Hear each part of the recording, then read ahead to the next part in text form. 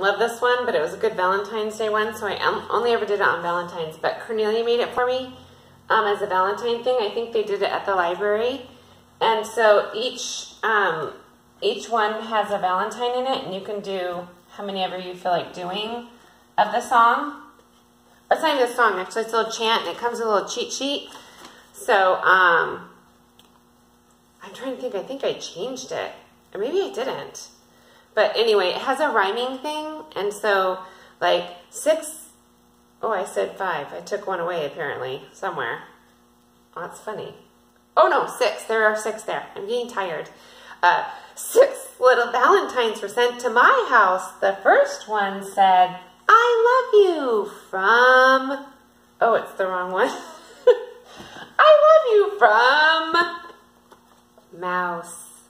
And then it tells all the colors, my cheat sheet does. Uh, five little valentines in my mailbox. The second one said, be mine, love, fox. So if they're older, you could just say, Happy Valentine's Day, love, and the whole thing would be um, mail, rhyming box with fox, that kind of thing. Anyway, then the last one is, the last little Valentine looks so smart. Happy Valentine's Day! And I used to say, said the big red heart. It also has the monster with the heart, but my kids didn't love that, so I just used big red heart. But anyway, like I said, not my fave, but good Valentine's Day one.